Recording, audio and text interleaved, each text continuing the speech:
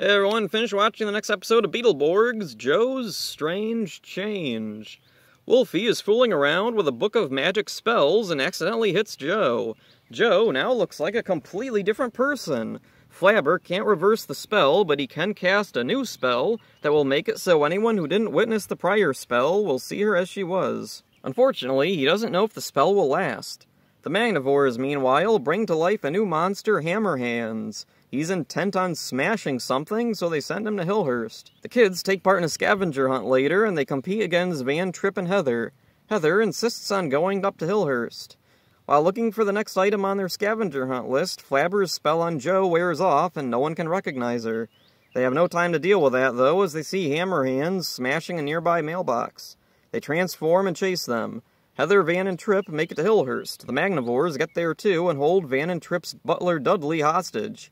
Inside, Van and Trip are repeatedly spooked by everything, while Heather narrowly misses seeing any of the monsters. Van and Trip pick up a book, and Flabber sees it's the spell book he needs to make his spell on Jo permanent. Outside, the Beetleborgs defeat Hammerhands and rescue Dudley.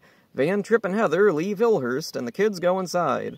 Flabber casts his new spell, and this time it sticks. It's impressive how smoothly Beetleborgs handled a main cast member leaving.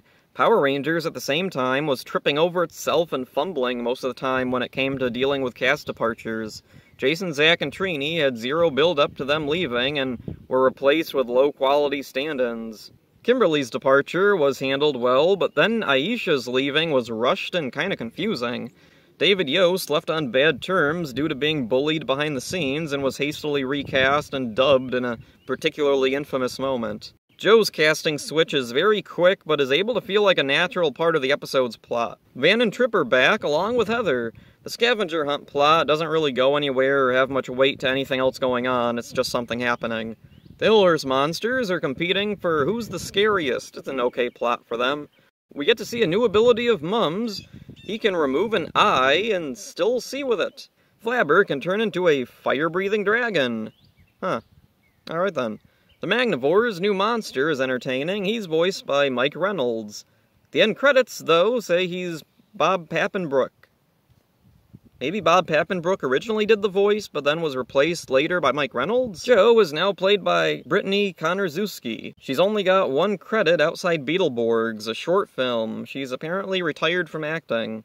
There's a lot going on in this episode, even in addition to establishing a new actress. It's all fast-paced and pretty fun. Brittany Konarzewski will remain on the show right up until the end. With such a change, will the show keep its dynamic? Will it change at all? I'm looking forward to seeing what's going to happen in the future. So that's it for this one. I hope you enjoyed it. See ya. Now eat some popcorn and pay attention. Uh.